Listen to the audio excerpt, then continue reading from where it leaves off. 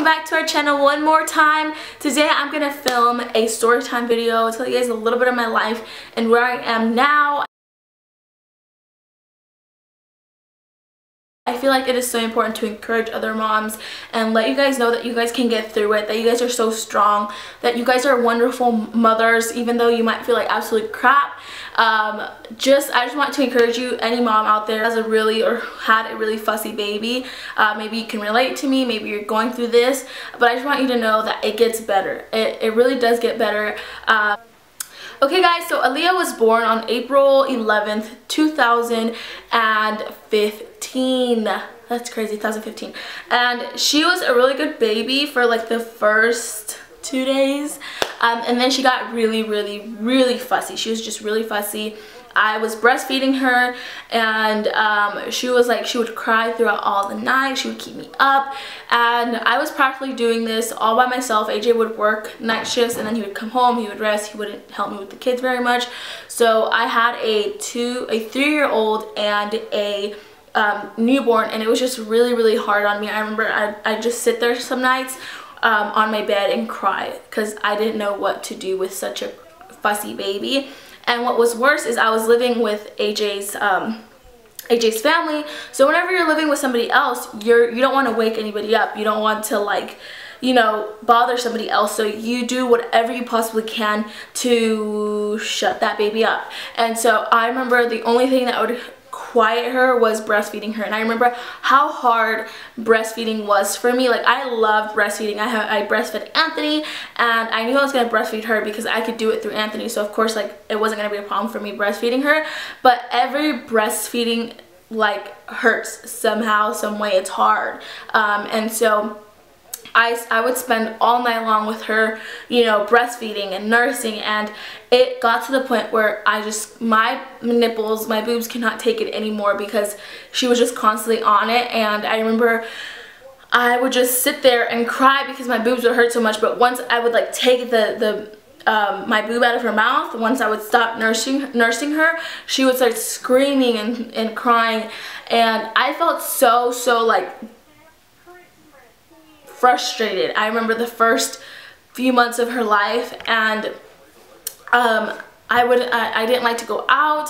I just like to stay home because I felt like if I went out, every time I would go out, it was just constant crying, constant crying, constantly having to like worry about when we were gonna go home. I was a teen mom. I didn't have my own car. I didn't go anywhere by like on my own because I didn't know how to drive. And so I had to rely on AJ's parents and AJ to drive me everywhere. I remember how stressful it was just to breastfeed her.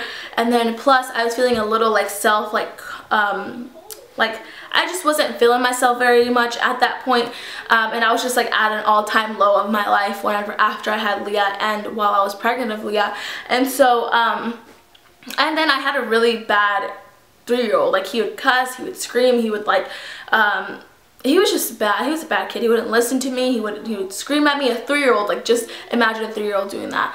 And so I remember I let this go on for a while and then I said I can't do this anymore. Like I cannot do this anymore. Like everything is just crashing down on me and it's emotional to me because I remember how like I felt at that point. I felt like I felt like a failure. I felt like the worst mother in the world. I felt like the worst, you know, girlfriend wife. I felt like the worst everything at that moment. I remember I like called my mom and I was like, mom, I can't do this anymore. Like I cannot, I cannot do this anymore. I feel like I'm gonna give up.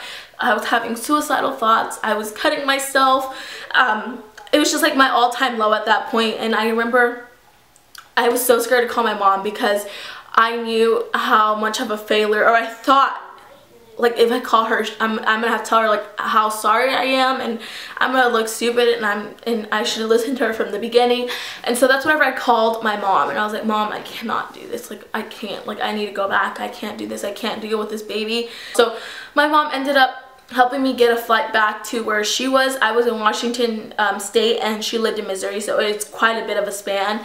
And throughout the months, it got worse. And I honestly felt like my life was forever gonna be miserable because for the first few like weeks, months of her of her life, she was like it was like manageable. It wasn't like so terrible. But as she got older um, it was worse. Like she just constantly like she got into like the habit of wanting to breastfeed. Whenever she was um, like a newborn a few weeks a few months I could give her um, a bottle and she could take it. But when she started getting older, she just was really, really stuck to the habit of breastfeeding. Like it was like that's all she wanted. She didn't want breast. She didn't want bottle feeding. She didn't want anything. So um, it was just it got I got more like frustrated at that. And so I ended up moving back um, with my mom whenever she was five months old. And um, and I remember coming here, I felt a little bit of relief because I'm like, well, um, I'll have like with whenever it's with your family or at least with my family I felt a little bit more of a, a little bit more of a relief of letting her cry a little bit more. I didn't feel so like stressed and like having like these eyes on me all the time um, because whenever it's somebody else's family you want to impress them. And so I was just really like I said I was just at an all-time low. I don't know what was going on with my mental health but I'm pretty sure it wasn't okay.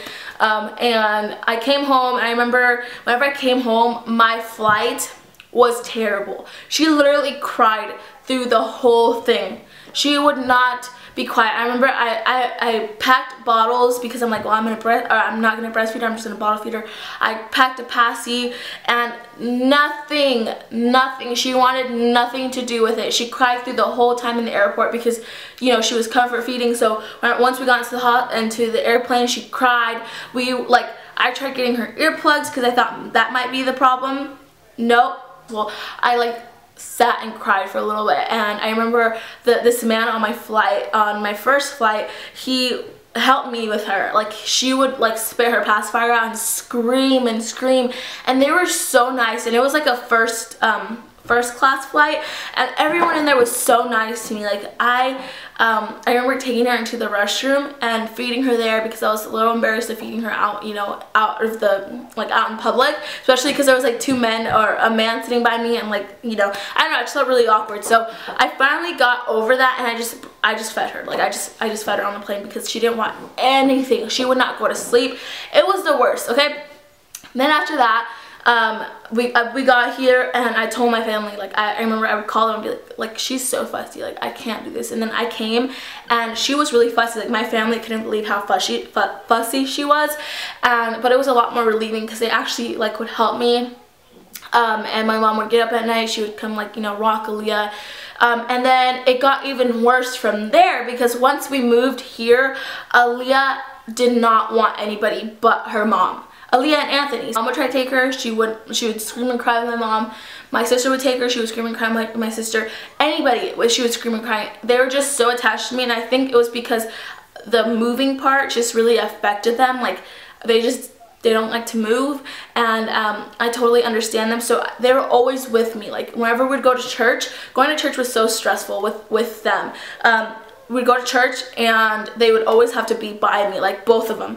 And um, they couldn't go to a nursery. Um, and so it was just constant crying and doing little things like shopping and going out with my family was just really really stressful at this point because Aaliyah didn't want to go with anybody. People would try to help me. Like, it's like the people there were like the, there was people there to help me but she didn't want anybody. And so she did this till about um, a few months ago. Um, she stopped being so clingy but that was because like I love to protect my kids. Like that's one thing that I might have made a mistake with. I was very protective of my kids. I leaving them with people and hearing them cry I couldn't do. Like I would constantly like have to take them back because I, I just couldn't hear my kids cry with somebody else. And so I would like take them back. I wouldn't let anybody take them because I knew like how much they didn't like it. And so especially Leah. And so I would always have them like if if I had to do something, I'd rather cancel it and not do it. And so, um, what's it called? So she, like, throughout this whole time, she's still really, really breastfeeding. Like, she would not eat any solid food very much. Um, and it was just horrible. Like, my breastfeeding was like the worst nightmare for me. With Anthony it was great. Like it hurt a little bit in the beginning but it got you know I got over it and it was awesome. It was great to breastfeed him. But with Leah it was a nightmare because she constantly wanted to feed. She would not eat anything. Um, she only wanted to nurse. And so after this I finally decided to stop feeding into her. And so I would I would leave them and then AJ's mom and um, stepdad came back. They moved back. Um, and then I had some friends who offered to to watch her. And I had some church people who offered to help her. And I said okay I'm gonna do this. My family was here to like to help, and um, I was like, I'm gonna do this. Like one thing that I did, and I definitely messed up on was I spoiled them too much. And so I started leaving them first with my mom and my sister. And I remember I left, I would leave her for a few hours, even Anthony, I would leave him and her for a few hours at my house um, because I would go hang out with friends or I would go like to a conference or something like that. And I would come back and they were like, like it was horrible and like my mom like her face was kind of like like oops like but there was honestly nothing that she could do to help them but they just had to cry out and they had to deal with not being with their mom for a little bit. So it started off with like an hour then it started then it went off to like a few hours. But I remember it was a struggle but I had to do it and the people there were there to help me so I just decided to do it. And then it started becoming you know half a day and then um, and then as that as I was letting them grow up because I feel like I was shielding them so much but I finally started to let them grow up. And I you know I Anthony was really bad too. He would he would he was really clingy to me. And um, it got to a point where I stopped feeding into that. And I would like no you guys like mommy has to do her own things. Like mommy loves you guys and everything but I need my free time. I need to be able to breathe. You need to stop breastfeeding so you need to stop being so clingy. And so I just kind of put my foot down in that perspective. And I started doing doing my own things. It wasn't like I was going out to party. It wasn't like I was doing anything bad. It wasn't like I was, you know, neglecting my kids, giving them away. It was just that I, they needed to learn that mommy had things to do. And so um, now looking on it, those were the hardest few months of my life. Like um, for me, um, because I felt like everyone else was taking it except me. And so just mentally it was hard as well, but it was definitely harder um, and the hardest whenever they were just so out of control. Like one would breastfeed all the time the other one would cry all the time. And then it was just kind of like clashing together. Plus I had to discipline Anthony and um, I had to put my foot down with him as well. I had to discipline him to the point where he knew he could not cuss at people he cannot hit people he cannot spit at people he cannot bite people he cannot be rude, rude to people. And now I have this four-year-old boy who honestly he is such a wonderful person. And he listens to me so well. Like so many people tell me like you've done such a good job. Like I go out shop and he listens so well. Like do we have our bad days? Of course we have our bad days because we're human beings. But my friend texted me today and she was like Leslie I just want you to know like how amazing you are at disciplining your kids. And you know like she like wrote me this message and it was so emotional and that's why I'm crying here because I'm like like I have to fight to get here like to this point. And there's people out there who sometimes want to drag me down and they make me feel like I did nothing. But I've done so much for my kids. And I want to tell you today that if you fought for your kids if you're there if you truly love them maybe you're like too overprotective maybe you're too you spoil them too much you know try a little change and don't be as scared of it. Um, if there's people there to help you I know how hard it is because sometimes we don't have people but find people. Um, and make friends with actually like a good group of people go to church um, a whole bunch of my church family helped me you know talk to your family there's people that are willing to help you like I am that person willing to help mothers um, who have trouble with that. Like I have friends who have babies now and um, I'm like, hey dude, like give me your baby. Like I know how to deal with a screaming, crying baby because of what I went through with my daughter. Like I know like if they cry, they cry and that's okay. I know like I take other um, kids or I, I, take other people's kids and I'm like, don't worry about it. And they look at me like, oh my gosh, like this girl's actually helping me. And you know how many people have told me like I, I help them because they drop the kids off at the church nursery or they drop the kids off at my house and the kids scream and cry and I just talk to them and I and I'll like play with them and I just even though they cry um, I'm not gonna go send them back to their parents because their parents want to hear the message their parents need to work and so I'm gonna do whatever I can even though the kids have to cry and scream and throw a fit that they're gonna get used to it after a while and so I know that I'm putting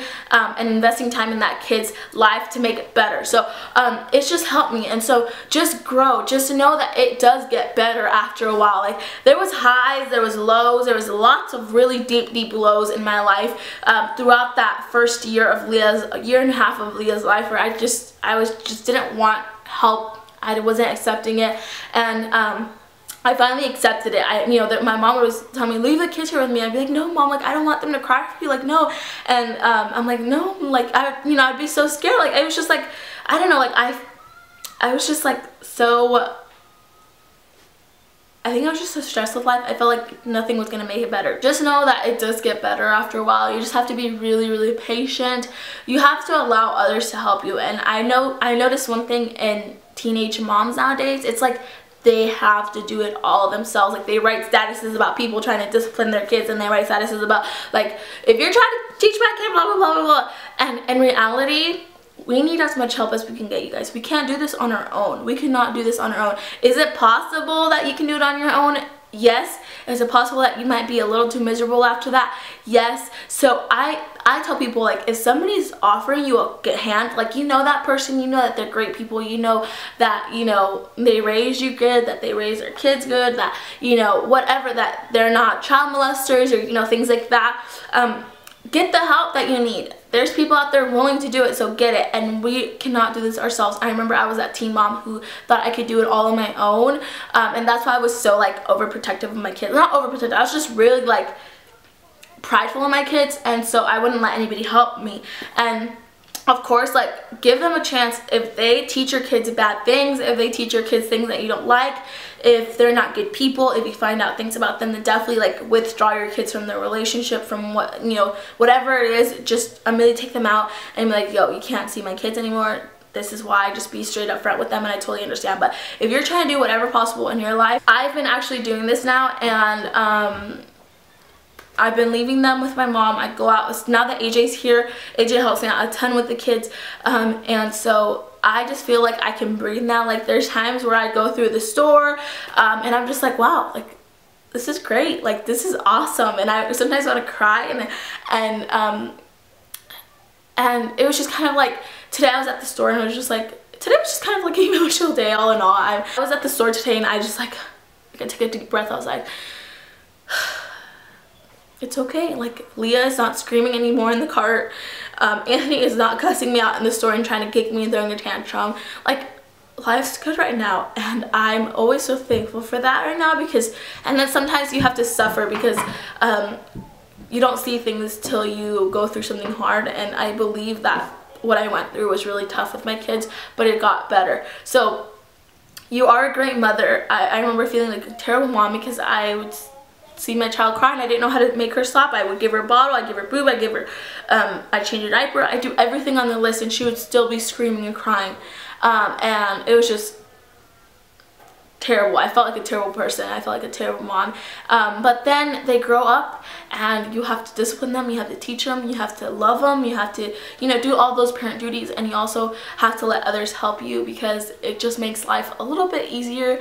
And, um, yeah so thank you guys so much for watching that's all i had for this video i hope you guys enjoyed that story time and um if you like these kind of videos, make sure to give me a thumbs up. If you guys have any video recommendations, leave them down below and I will talk to you guys later. Don't forget to subscribe and don't forget to click the little bell at the um, um, on the side of the subscribe button. Um, there's also a circle at the end of our videos. Um, I think you can click on that and subscribe um, and the little bell just notifies you when um, I upload a video and you guys will get notified. If you don't click that little bell, then you won't get notified. Um, thank you for subscribing. If you did subscribe, we love you guys. We love all of our subscribers. Thank you guys for your support. Thank you for just being here and watching. Um, and we will talk to you guys later. Bye, guys.